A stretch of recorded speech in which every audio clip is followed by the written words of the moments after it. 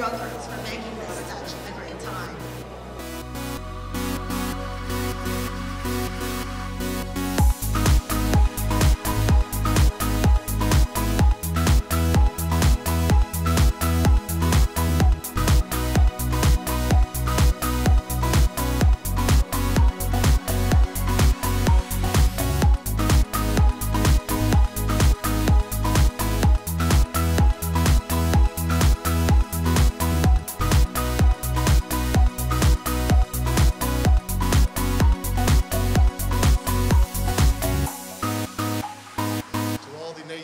and doubters, I say, what do you think of us now?